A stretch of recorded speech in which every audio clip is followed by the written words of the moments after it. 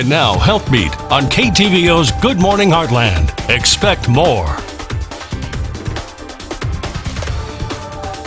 From the Health Beat, the mini fridge is an essential appliance for college living, but with limited space, it is crucial to fill it with healthy staples that will provide numerous meals and snacks to fuel those early morning classes and late night study sessions. KTVO's Alex Wilson and dietitian Heather Ware break it down for us. Good morning, ladies.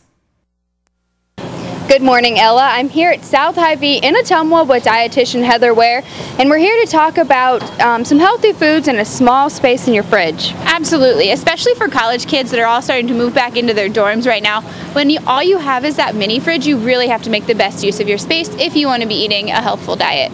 Okay, and so what do we have here that you can still eat healthy with that small space? We have lots of grab and go things that will easily fit in a mini fridge, but that make sure you have the energy for early morning classes, late night study sessions, all of those things. Okay, and so we can start over here. We've got some milk, some fruit. Absolutely. Dairy products are a good cornerstone to always have in there. Um, a good source of healthy carbohydrates as well as protein to fuel you.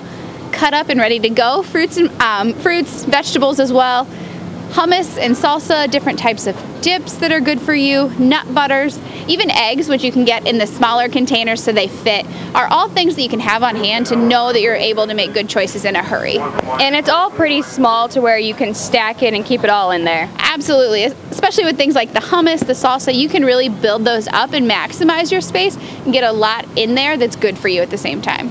Okay, and so remember you can get all of these tips and tricks on our website, ktvo.com. Ela, back to you.